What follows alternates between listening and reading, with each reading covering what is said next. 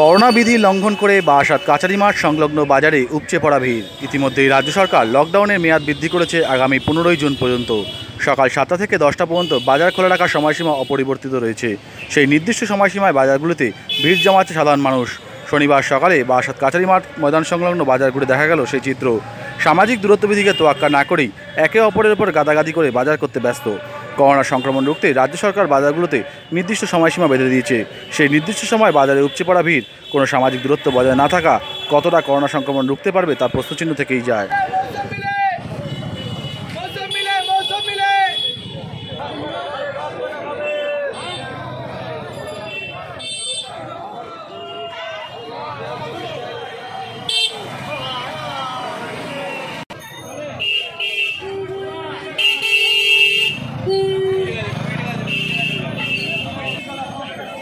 first class